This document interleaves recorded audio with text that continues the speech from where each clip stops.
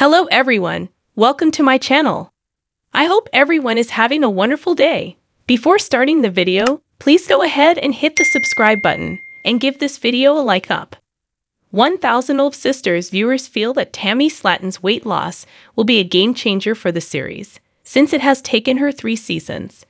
Without a doubt, the fact that 1000 Lb Sisters star Tammy Slaton qualified for gastric bypass surgery, which usually sparks dramatic weight loss, will be mind blowing for this season's viewers.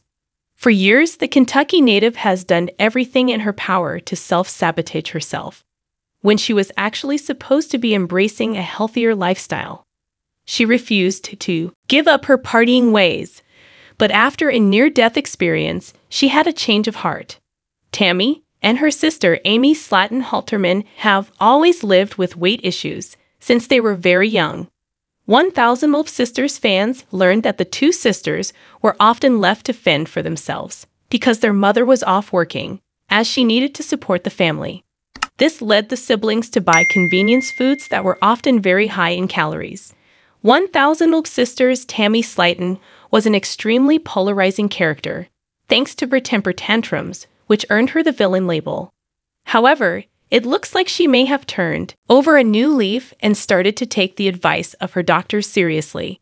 You slash swimming underscore salad underscore 1820 took to Reddit to share some mind blowing ideas about Tammy's weight, writing, Imagine how Tammy would feel being a normal weight after a lifetime of extreme obesity.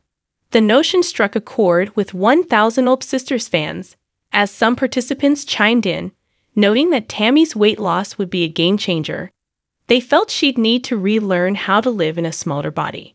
In the recent episode, Tammy was shocked to learn that she hit her goal weight. She gloated because she had really proved her haters wrong.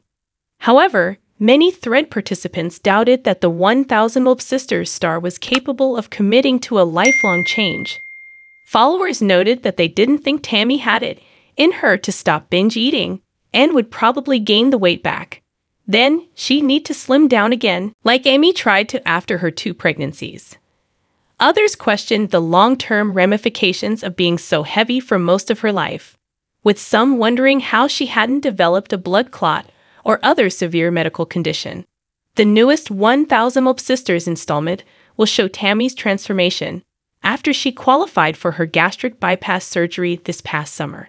The TLC star has been staying in the Ohio Rehab Center, so doctors and nurses can keep a close eye on her. However, it looks like the professionals aren't watching Tammy closely enough, as she recently shared her review for some junk food snacks, which surely have no place in her new weight loss diet. For now, supporters hope that Tammy can make these big life changes, but others feel she may fall short. Thanks for watching this video. Please subscribe to our Gossip Tammy channel and stay with us.